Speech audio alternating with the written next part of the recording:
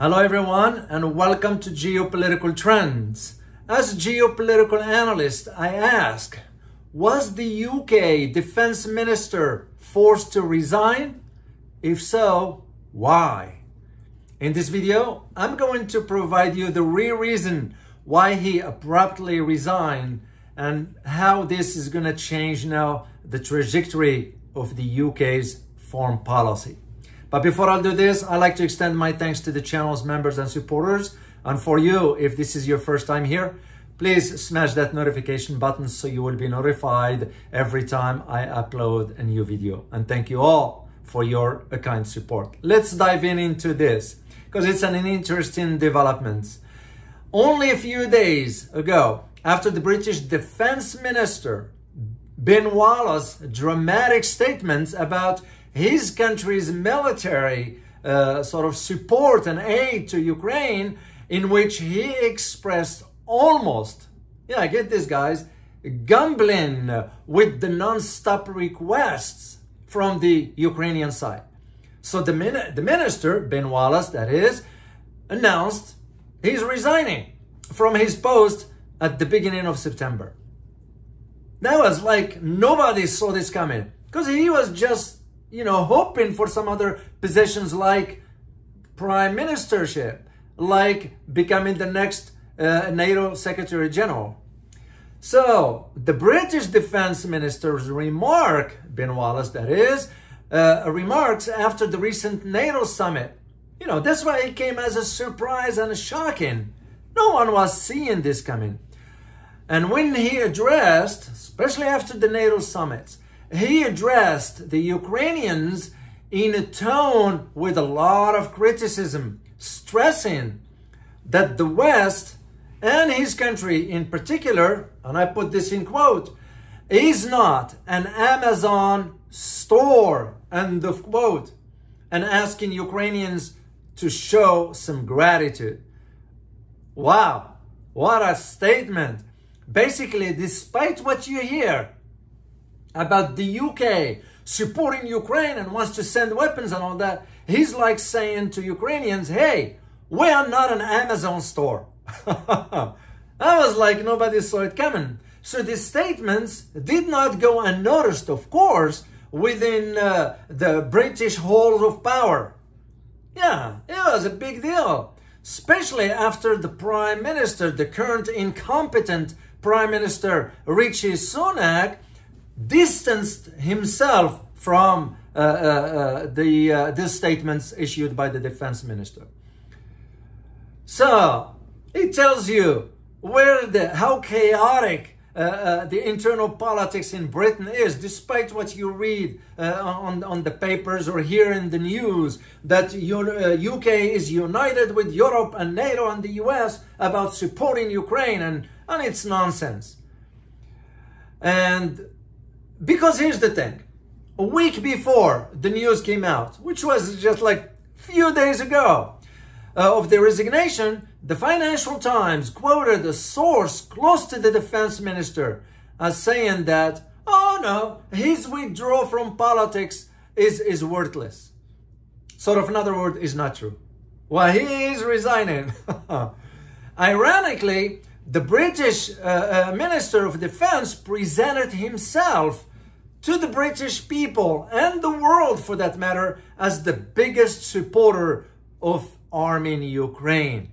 This is where the hypocrisy and double standards of not only the UK, but the collective West. And for this, and thanks to his uh, file, or this file, his shares rose among the British before the same turned into a nail hammering into the coffin of his political career. No. That's uh, uh, I don't know. Was he was it wise of him to say that statement, or was he speaking the truth? So, British Defense Secretary Ben Wallace, that is, he's just FYI, he rose to prominence with the outbreak of the Ukraine war, and despite get this, guys, despite major changes in the possession of the PMs within the UK, from the clown Bojo Boris Johnson to the incompetent Liz, Liz Strauss, Liz Truss, I'm sorry, to now the current incompetent Prime Minister Rishi Sunak. So, interesting, Ben Wallace, the Secretary of Defense, maintained his position since 2019. So what changed? Hmm. So the British politician was keen to show his unequivocal support for Ukraine and was keen supporter of giving, get this, battle tanks to Ukraine. So this is why Britain was the first European uh, country to sort of provide tanks to Ukrainian army.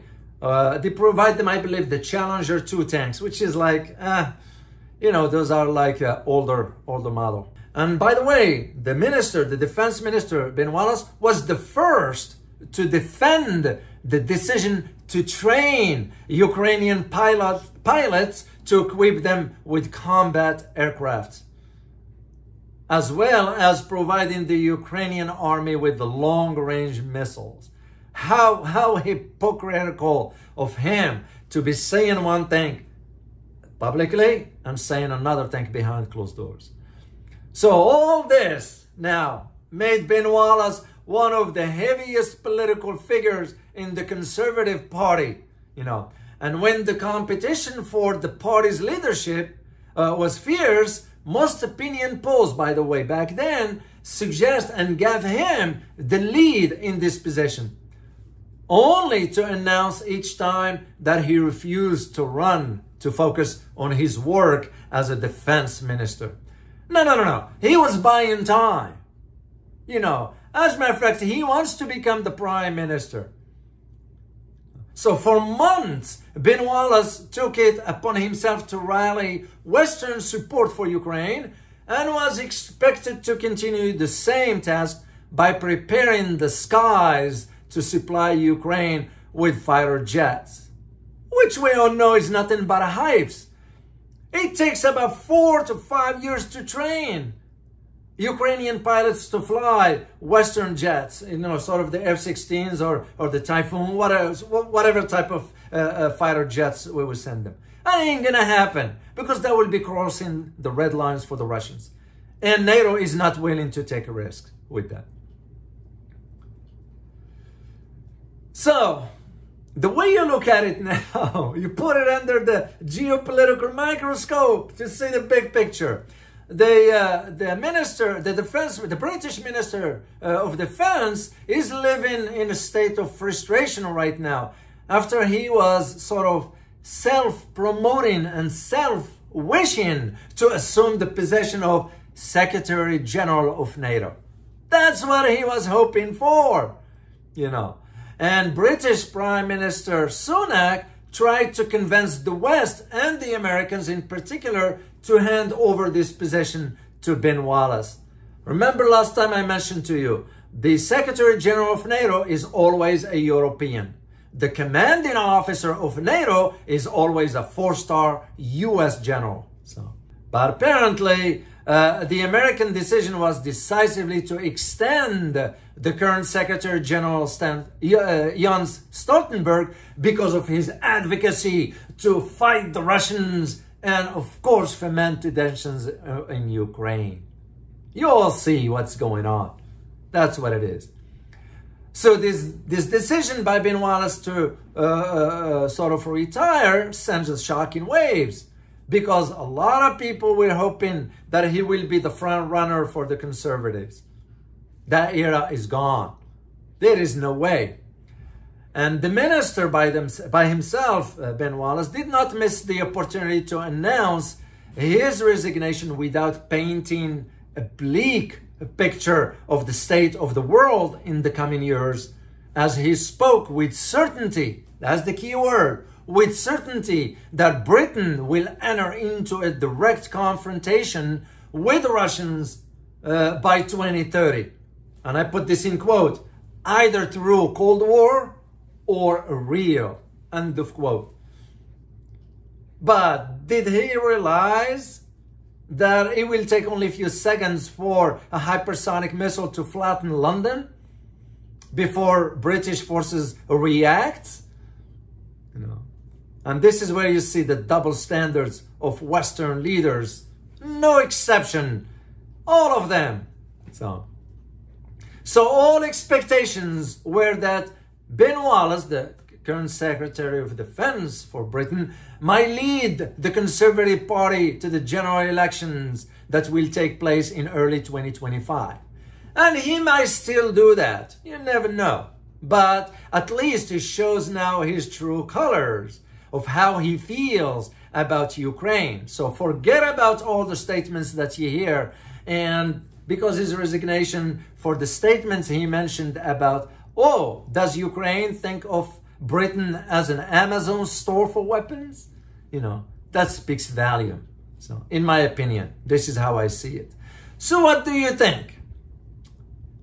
Was it really worth resigning over, or was he forced to resign for, uh, over that statement? So, so if you like the content of this video, by the way, hit that like button and subscribe to support or to show your support for this channel. I will really appreciate it. As always, guys, remember geopolitics impact your daily life in more ways than one. Till next time. Bye bye.